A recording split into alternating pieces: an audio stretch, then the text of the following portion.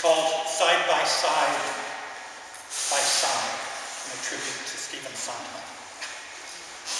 Heat, along with a forgetting of the past, have taken them up the evolutionary trail.